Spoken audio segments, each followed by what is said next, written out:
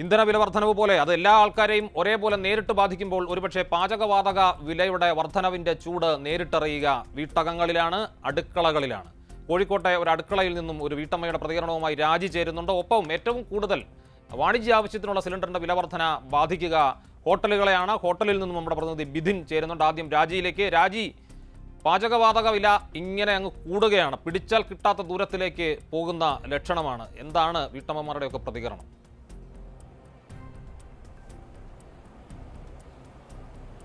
അബ്ജോദ് നേരത്തെ സൂചിപ്പിച്ചത് തന്നെ ഇരുന്നൂറ്റി ഇരുപത്തി ആറ് രൂപയാണ് ഒരു മൂന്ന് മാസത്തിനിടെ പാചകവാതകത്തിന് കൂടിയിട്ടുള്ളത്.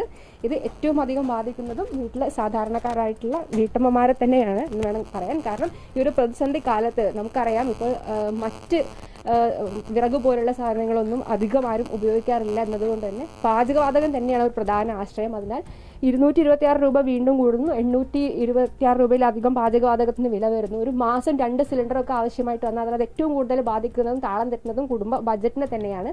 ഇപ്പോൾ കോഴിക്കോട് നമ്മൾ നഗരപ്രദേശത്ത് താമസിക്കുന്ന ഒരു ഒരു വീട്ടിലാണുള്ളത്. അപ്പം എത്രത്തോളം ബുദ്ധിമുട്ടാണ് ഇത് ഇങ്ങനെ കൂടുമ്പോൾ. ഞങ്ങൾക്ക് ഗ്യാസ് മേടിക്കാൻ പറ്റാത്തൊരവസ്ഥകളാണ് വരുന്നത്. കയ്യിൽ പൈസ ഉണ്ടാവില്ല അപ്പോൾ ഗ്യാസ് വന്ന് ഞങ്ങൾക്ക് എടുക്കാം അങ്ങനെ ഇപ്പോഴത്തെ വില മാസം മാസം കൂടിക്കൊണ്ടിരിക്കുക പിന്നെ എങ്ങനെ നമ്മൾ ബാക്കിയുള്ള കാര്യങ്ങളും ചിലവ് ചിലവുണ്ടല്ലോ. ഇപ്പോഴത്തെ അവസ്ഥ അങ്ങനെയാണ്. എങ്ങനെ ഒപ്പിക്കാമെന്ന് അറിയാഞ്ഞിട്ടാണ് നമ്മൾ ജീവിക്കുന്നത് ഓരോ വീട്ടുകാരും. ഇപ്പോൾ നമുക്ക് തന്നെ ഒരു കുറ്റി കഴിഞ്ഞിട്ട് ഒരു കുറ്റി എടുക്കണ എത്രയോ പ്രയാസമാണ്. ഒരു കുറ്റി എടുക്കാൻ ഒപ്പിക്കാൻ പറ്റുന്നില്ല എനിക്ക്. ഇനി അടുത്ത കുറ്റിന് വന്നവർ വിശേഷങ്ങളൊക്കെ വന്നാൽ എന്ത് ചെയ്യും? വേറെ വിറകും ഇല്ല. അങ്ങനത്തെ ഒരു സാധനങ്ങളൊന്നും ഇവിടെ ഇല്ല. പണ്ട് കാലത്തെ ഒരു ഒന്നും കിട്ടാനുമില്ല. അതിനും പൈസ. പിന്നെ മാത്രം ഗ്യാസ് മാത്രമല്ല ബാക്കി എല്ലാ കാര്യങ്ങൾക്കും ബുദ്ധിമുട്ട് തന്നെയാണ്. ഇപ്പോൾ പച്ചക്കറി ആയാലും നമ്മൾ എന്ത് സാധനം മേടിക്കാൻ പോലും നമുക്ക് പൈസ കൊടുക്കണം. ആ അവസ്ഥയിൽ അവസ്ഥയിലപ്പോൾ ഞങ്ങൾ ഒപ്പിക്കാൻ പറ്റുന്നില്ല സത്യം പറഞ്ഞാൽ മക്കൾക്കൊന്നും പണിയും ഇല്ല. ആ അവസ്ഥയിൽ ഇപ്പോൾ ഞങ്ങൾ എന്ത് ചെയ്യാനാണ് ഉള്ളതുകൊണ്ട് ഞരങ്ങി ഞരങ്ങി ജീവിച്ച് പോവാണ്.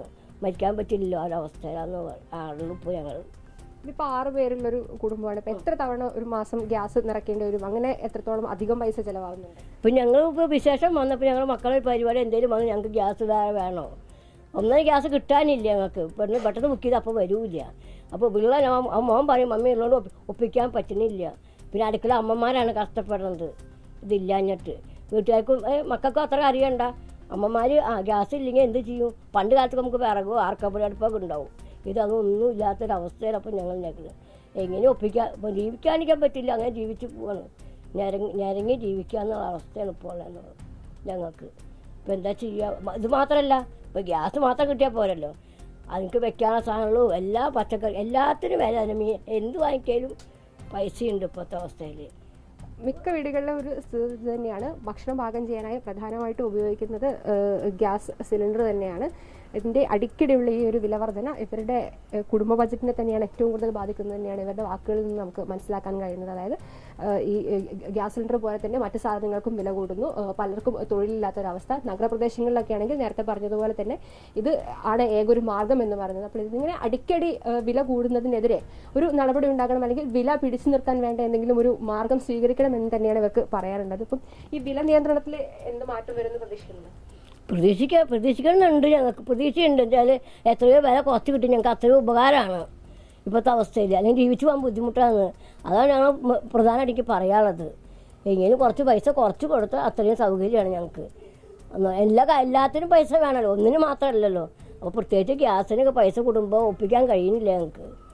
ഇപ്പോൾ മക്കൾക്ക് ജോലിയില്ല. മോനാണെങ്കിൽ പണിയില്ലാത്തൊരവസ്ഥയാണ് ഇപ്പോൾ. എങ്ങനെയും ഒപ്പിച്ച് പോവാന്നല്ലാണ്ട് ഒരു കുറ്റി കിട്ടിയാൽ ആ ഓഫാക്കി അടിച്ചടിച്ച് മെല്ലെ മെല്ലെ ആക്കിയിട്ട് സിമ്മിലൊക്കെ ആക്കിയിട്ടാണ് ഞാൻ ഒപ്പിച്ച് പോണത് ഇപ്പോൾ ഗ്യാസ് ഫുള്ളായി ഉപയോഗിക്കാം ഒരു വിശേഷം വന്നാലോ? അങ്ങ് കുടുങ്ങിപ്പോയി. അപ്പോൾ അടുത്ത കുറ്റി എടുക്കണം. അപ്പോൾ എവിടെയുണ്ട് പൈസ? ഒരു കുറ്റി എടുക്കാൻ തന്നെ ബുദ്ധിമുട്ടാണ് ഞാൻ ജീവിക്കുന്നത് ഇവിടെ. അമ്മമാരെ ബുദ്ധിമുട്ട് പറയാനല്ലേ പറ്റുള്ളൂ.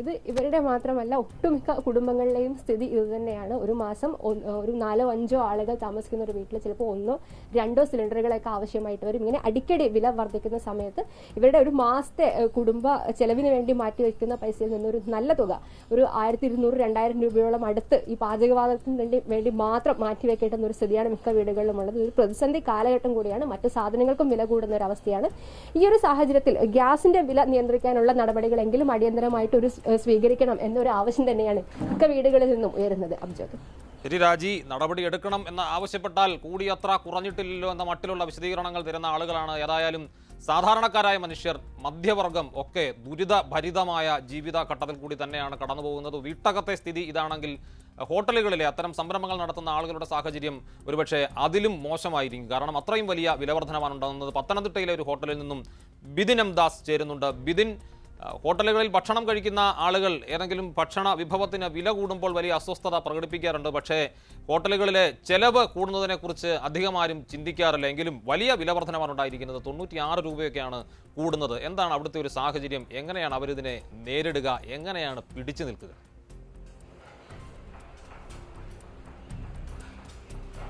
അബ്ജോദ് ഞാൻ നിൽക്കുന്നത് പത്തനംതിട്ട നഗരത്തിലെ ആരോമ ഹോട്ടലിലാണ്. അബ്ജോദ് അടക്കം ഇവിടെ പത്തനംതിട്ടയിൽ എത്തുമ്പോൾ നമ്മൾ സ്ഥിരമായി ഭക്ഷണം കഴിക്കാറുള്ള ഒരു ഹോട്ടൽ കൂടിയാണിത്. രാവിലെ ഇവിടെ ഈ പൊറോട്ടയും ഒപ്പം മറ്റ് ഭക്ഷണ പദാർത്ഥങ്ങളൊക്കെ തന്നെ ഉണ്ടാക്കുന്ന തിരക്കിലാണ് തൊഴിലാളികളൊക്കെ തന്നെ.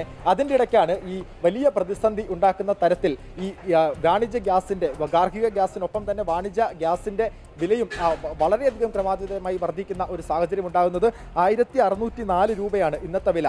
ഞാൻ നിൽക്കുന്ന ഇത്തരം ഹോട്ടലുകളിലെല്ലാം തന്നെ ഒരു ദിവസം കുറഞ്ഞത് ഒരു മൂന്ന് സിലിണ്ടറൊക്കെയാണ് ഒരു ദിവസം ഉപയോഗിക്കുക. കോവിഡിന് പിന്നാലെ ഈ വിലക്കയറ്റം കൂടി വന്നതോടുകൂടി വലിയ പ്രതിസന്ധിയിലാണ് ഈ ഹോട്ടൽ ഉടമകൾ. ഒപ്പം തന്നെ അബ്ജോദ് സൂചിപ്പിച്ചതുപോലെ തന്നെ ഈ ഭക്ഷണ സാധനങ്ങളുടെ വില കൂടുന്നത് ഇപ്പോൾ ഉണ്ടാകുന്ന പ്രതിഷേധങ്ങളൊക്കെ തന്നെ ഇതിനകത്ത് ഈ ഇത്തരം ഗ്യാ ഹോട്ടലിന്റെ ആവശ്യ സാധനങ്ങളുടെ വില വർധന ഉണ്ടാകുമ്പോഴും ഉണ്ടാവേണ്ടതാണ്. അതുകൊണ്ട് തന്നെ വലിയ പ്രതി പ്രതിസന്ധിയിലാണ് ഹോട്ടൽ ഉടമകളൊക്കെ തന്നെ ഉള്ളത്. എന്നോടൊപ്പം ഈ ഹോട്ടലിന്റെ ഉടമ ശശി ഐസക് ചേരിയാണ്. അദ്ദേഹം കേരള ഹോട്ടൽ ആൻഡ് റെസ്റ്റോറന്റ് അസോസിയേഷന്റെ പത്തനംതിട്ട ജില്ലാ വർക്കിംഗ് പ്രസിഡന്റ് കൂടിയാണ്. എങ്ങനെയാണ് വളരെ പിടിച്ചു കിട്ടാൻ കഴിയാത്ത തരത്തിലേക്കുള്ള ഒരു വിലക്കയറ്റമാണ്? തൊണ്ണൂറ്റി ആറ് രൂപ വർദ്ധിച്ചു. ആയിരത്തി അറുന്നൂറ്റി നാല് രൂപയാണ് ഇന്നത്തെ വില. എങ്ങനെ പിടിച്ചു കിട്ടാൻ പറ്റും? കഴിഞ്ഞ കുറേ മാസങ്ങളായി എല്ലാ മാസം തോറും ഗ്യാസിന്റെ വില വർദ്ധിപ്പിച്ച് വർദ്ധിച്ചു വരികയാണ്. അതൊരു പരിധിയില്ലാതെ ശരാശരി നൂറ് രൂപ വർധനവാണ് പ്രാബല്യത്തിൽ വരുന്നത്. ഈ നിലയിൽ ഹോട്ടൽ ഉടമകൾക്ക് പിടിച്ചു നിൽക്കാൻ പറ്റത്തില്ല.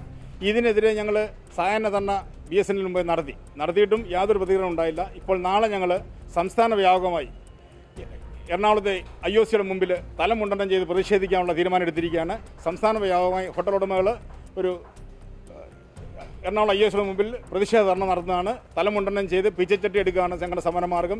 ഇതുകൊണ്ട് ഉണ്ട് ഉൾക്കൊണ്ടില്ലെങ്കിൽ ശക്തമായി പ്രതികരിച്ച് കടകൾ അടച്ച് മുന്നോട്ട് പോകാനുള്ള തീരുമാനമാണ് ഞങ്ങളുടെ സംഘടനയുടെ ഭാഗത്തു നിന്ന് ഞങ്ങൾ ആലോചിക്കുന്നത്.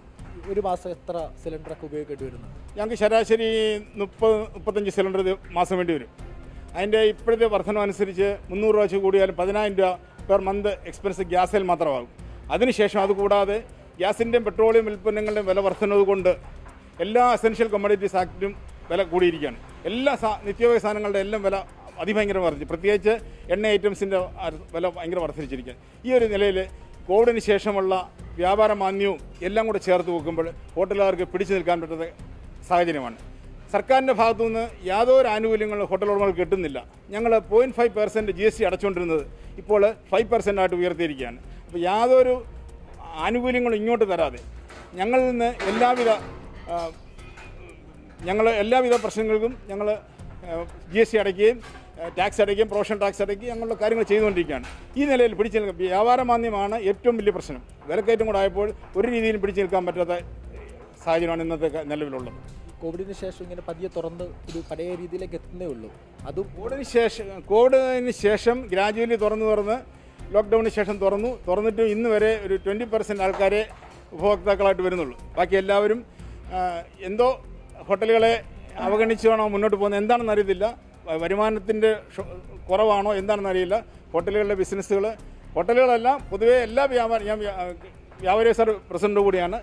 അതോട് ചേർത്ത് എല്ലാ വ്യാപാര മേഖലകളും മാന്യമാണ്. ഈ മാന്യം പിടിച്ചു നിൽക്കാൻ ഒരു വ്യാപാരിക്കും ഇന്നത്തെ സാഹചര്യത്തിൽ പറ്റത്തില്ല. ഈ ഭക്ഷണ സാധനത്തിന്റെയൊക്കെ വില കൂട്ടേണ്ടി വരുമോ? ഇങ്ങനെ പോയാൽ നിലവിലുള്ള എല്ലാ വർഷം തോറും ശബരിമല സീസണോടനുബന്ധിച്ച് കളക്ടർ വിളിച്ചു കൂട്ടുന്ന മീറ്റിങ്ങുകളിൽ വില നിലവാരം ഫിക്സ് ചെയ്യുന്നതാണ്. അത് കഴിഞ്ഞ കുറേ നാലഞ്ച് വർഷമായി വില ഒരേ സ്റ്റഡി വിലയിൽ പോവാണ്. നിലവിലുള്ള വിലയിൽ കൊടുത്തിട്ട് ആഹാരം കഴിക്കാനുള്ള കസ്റ്റമേഴ്സ് കുറവായതുകൊണ്ട് വില വർദ്ധിപ്പിച്ചാൽ വീണ്ടും ഒരു പ്രതിസന്ധി ഉണ്ടാകുമെന്ന് വിചാരിച്ച് ഉള്ള നഷ്ടം സഹിച്ച് പോകാവുന്നിടത്തോളം കാലം മുന്നോട്ട് പോകാമെന്നുള്ള രീതിയിൽ നഷ്ടം സഹിച്ചാണ് ഞങ്ങളിപ്പോൾ തൽക്കാലം മുന്നോട്ട് പോകുന്നത്. തൊഴിലാളികളൊക്കെ ഒരുപാട് തൊഴിലാളികളുടെ കൂലിയും നിജസ് നിജ വർദ്ധിപ്പിച്ചു അവർക്ക് അവർക്കും ഈ വിലക്കയറ്റങ്ങൾ അവരെയും ബാധിക്കുന്നുണ്ട് തൊഴിലാളികളുടെ കൂലിയും അടിക്കടി വർദ്ധിച്ചുകൊണ്ടിരിക്കുകയാണ്. തൊഴിലാളി സ്കേഴ്സിറ്റിയും ഉണ്ട്. അതും ഒരു ഘടകമാണ്. മലയാളികളായ തൊഴിലാളികൾ കുറവാണ്. അന്യ സംസ്ഥാനക്കാരാണ് ഇതര സംസ്ഥാനക്കാരുടെ കൂടുതലാണ്. അവരെ നമുക്ക് അവോയ്ഡ് അവരെ നമുക്ക് ശമ്പളം നല്ലപോലെ കൊടുത്തു വേണം ഇപ്പോൾ അക്കോമഡേറ്റ് ചെയ്യാൻ. ഏതായാലും അബ്ജോദ് ഒരു പറയുന്നത് പോലെ തന്നെ വലിയ പ്രതിസന്ധിയാണ്. കാരണം ഈ കോവിഡിൽ നിന്നൊക്കെ ഒരു കരകയറി വരുന്നതാണ്. ഹോട്ടൽ വ്യാപാരം മറ്റ് വ്യാപാരി വ്യവസായികളൊക്കെ തന്നെ ഈ കോവിഡിൽ നിന്നും കരകയറി പഴയ ലോക്ക്ഡൌണിന് ശേഷം പഴയ കച്ചവടത്തിന്റെ ഒരു തുടക്കഘട്ടത്തിലേക്ക് എത്തിക്കഴിയുമ്പോഴാണ് ഇത്തരത്തിൽ അടിക്കടി ഉണ്ടാകുന്ന പാചകവാതകത്തിന്റെയും ഇന്ധന വിലവറിവിന്റെ ഇന്ധന വിലയും ഒക്കെ തന്നെ ഇവരെ വലിയ രീതിയിൽ പ്രതിസന്ധിയിലാക്കിയിട്ടുണ്ട്. അങ്ങനെ വലിയ പ്രതിസന്ധിയിലാണ് ഇവർ. ഇപ്പോൾ ഹോട്ടൽ ഇതിന്റെ ഉടമ സൂചിപ്പിച്ചതുപോലെ തന്നെ വലിയ സമര പരിപാടികളിലേക്ക് പോകേണ്ടി വരും. ഇവർക്ക് വലിയ പ്രതിസന്ധികളിലേക്ക് പോകേണ്ടി വരും. അങ്ങനെ എങ്ങനെയെങ്കിലും ഏതെങ്കിലും തരത്തിൽ അടിക്കടി ഉണ്ടാവുന്ന ഈ വിലവർദ്ധനവിനെ പിടിച്ചുകെട്ടി പഴയ ഒരു ആശ്വാസകരമായ തീരുമാനത്തിലേക്ക് ഉണ്ടാവുമെന്ന പ്രതീക്ഷയാണ് ഇവർ പങ്കുവെക്കുന്നത്. ഒപ്പം ആവശ്യമെങ്കിൽ അല്ലെങ്കിൽ ഭക്ഷണത്തിന്റെ വില അടക്കം കൂട്ടേണ്ട ഒരു സാഹചര്യം കൂടി ഇവർ പങ്കുവെക്കുന്നുണ്ട്. അംജോ. ശരി ബിദിൻ ഏതായാലും പ്രതീക്ഷ പുകച്ച് അടുപ്പ് കത്തിക്കാൻ ആവില്ലല്ലോ. ദുരിതഭരിതമാണ് നേരത്തെ സൂചിപ്പിച്ചതുപോലെ ഒപ്പിച്ചെടുക്കുകയാണ് ആളുകൾ.